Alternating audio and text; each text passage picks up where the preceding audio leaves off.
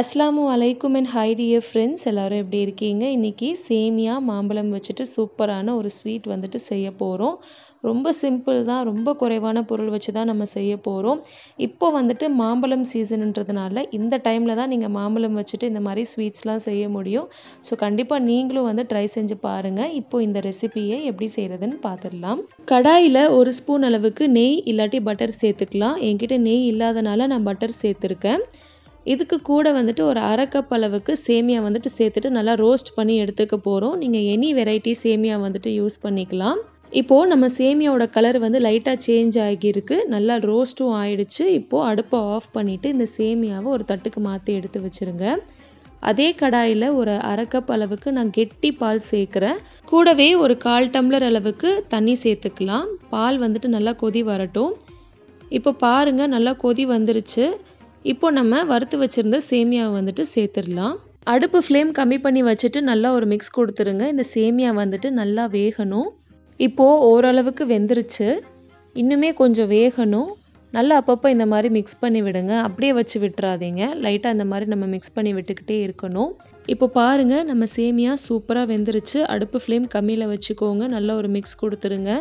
இப்போது ஒரு ஸ்பூன் அளவுக்கு மில்க் மேட் வந்து நான் சேர்க்குறேன். அதுவும் என்கிட்ட இருந்ததுனால நான் சேர்க்குறேன். உங்ககிட்ட இருந்தால் சேர்த்துக்கோங்க இல்லைனா ஒன்றும் பிரச்சனை இல்லை. ஜஸ்ட்டு ஒரு ஸ்பூன் தான் நான் சேர்க்குறேன். அடுத்தது இனிப்புக்கு வந்து நம்ம சர்க்கரை சேர்த்துக்கலாம். தேவையான அளவுக்கு நம்ம சர்க்கரை சேர்த்துப்போம். சேர்த்துட்டு நல்லா ஒரு மிக்ஸ் கொடுத்துடலாம். நான் வந்துட்டு ஒரு ரெண்டு டேபிள் ஸ்பூன் அளவுக்கு தான் சர்க்கரை ஆட் பண்ணியிருந்தேன். இப்போ சர்க்கரைலாம் நல்லா கரைஞ்சிருச்சு. இப்போது நம்ம கால் கப் அளவுக்கு மாம்பழ விழுது சேர்த்துக்கலாம். மாம்பழத்தில் உள்ள அந்த பல்ப்பை மட்டும் நீங்கள் தனியாக எடுத்து மிக்சி ஜாரில் போட்டு நல்லா நைஸாக அடித்து சேர்த்துக்கோங்க. தண்ணிலாம் எதுவும் சேர்த்துடக்கூடாது இதை வந்துட்டு நல்லா ஒரு மிக்ஸ் கொடுத்துடலாம். நல்லா இனிப்புள்ள மாம்பழமாக இருந்தால் சர்க்கரை வந்துட்டு கம்மியாக சேர்த்துக்கோங்க. இனிப்பு கம்மியான மாம்பழம்னா சர்க்கரை வந்துட்டு ஜாஸ்தி சேர்த்துக்கோங்க. நல்லா ஒரு மிக்ஸ் கொடுத்துட்டு நம்ம அடுப்பை வந்துட்டு ஆஃப் பண்ணிடலாம். ஏன்னா நம்ம மாம்பழமோட பல்ப்லாம் சேர்த்தக்கப்புறமா அதை கொதிக்க விட வேண்டாம்.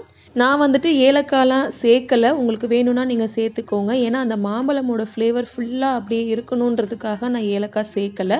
உங்களுக்கு வேணும்னா நீங்கள் ஏலக்காய் வந்து தட்டி சேர்த்துக்கோங்க. அவ்வளோதான். நல்ல டேஸ்டியான மாம்பழ சேமியா வந்து ரெடி ஆயிடுச்சு. உங்களுக்கு பாயாசம் மாதிரி நல்லா லிக்விடாக வேணும்னா இன்னும் கொஞ்சம் எக்ஸ்ட்ராவாக நீங்கள் மில்க் வந்து ஆட் பண்ணிக்கோங்க.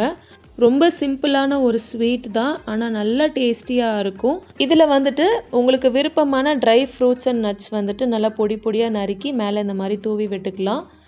இதுக்கு வந்துட்டு நம்ம நெய்லெலாம் ரோஸ்ட் பண்ணி போட்டோம்னா அவ்வளோவா நல்லா இருக்காது. அதனால் ஜஸ்ட்டு நீங்கள் அப்படியே சாப் பண்ணி மேலே தூவி விட்டிங்கனாலே நல்லாயிருக்கும் டியூட்டி ஃப்ரூட்டி சேர்த்துக்கலாம். இல்லாட்டி மாம்பழமே குட்டி குட்டி பீசஸாக கட் பண்ணி மேலே தூவி விட்டுக்கலாம்.